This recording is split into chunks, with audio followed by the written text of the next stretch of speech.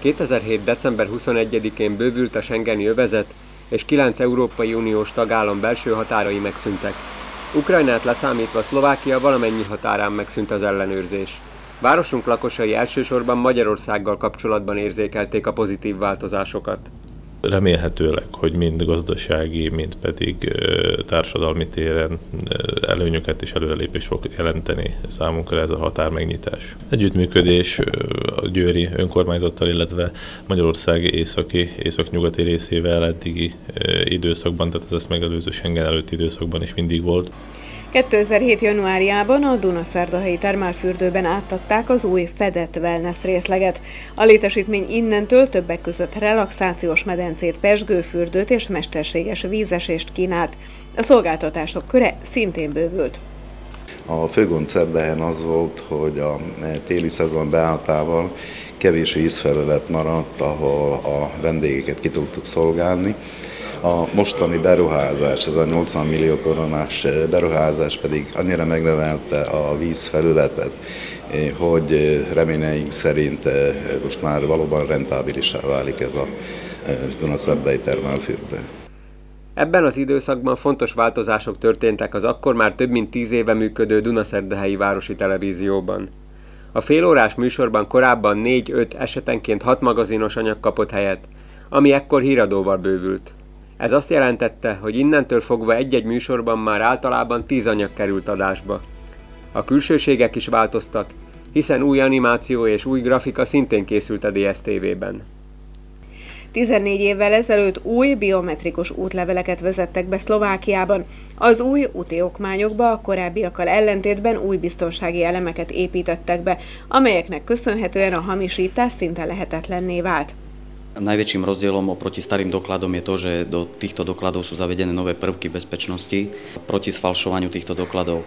Najzákladnejšie je tam vlastne to, že je tam už zavedený znak e, biometrického údaju a to je e, zosnímaná tvár človeka.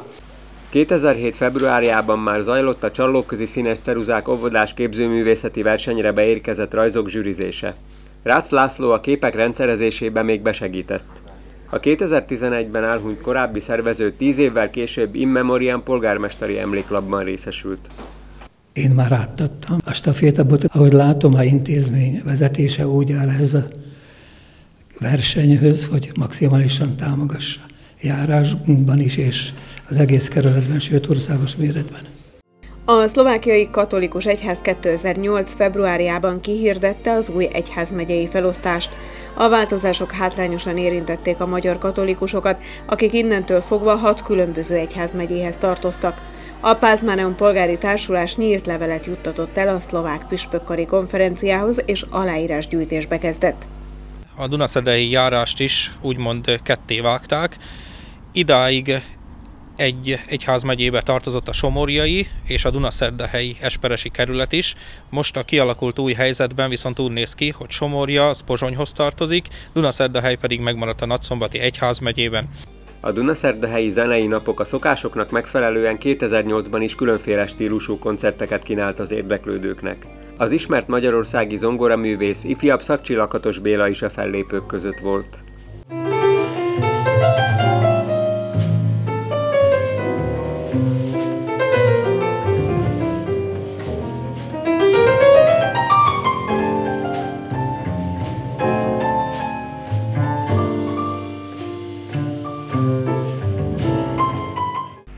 Az üzemanyagárak emelkedése már 14 évvel ezelőtt is témát szolgáltatott.